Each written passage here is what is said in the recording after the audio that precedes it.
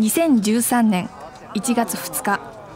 中央大学陸上部が第89回東京箱根間往復駅伝競争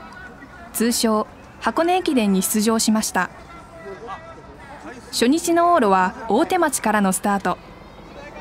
1区を走るのは去年9区を任された大須田選手です。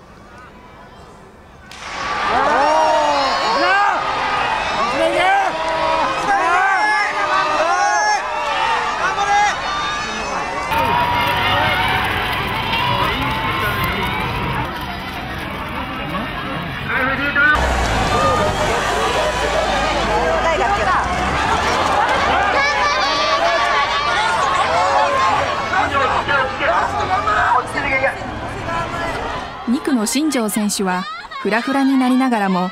なんとか3区の須川選手にたすきをつなぎます。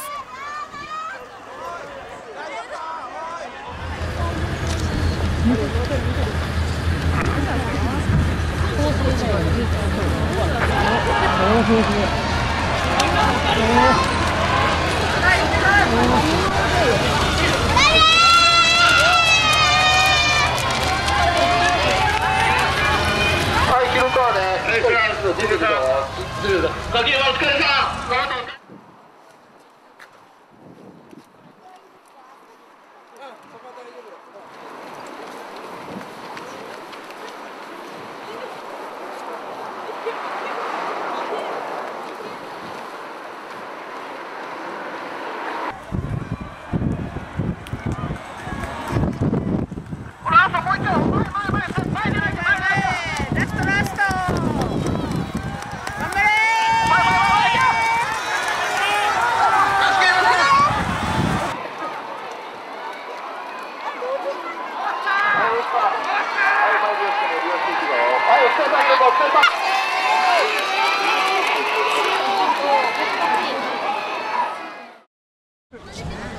往路最終区間である5区の野脇選手は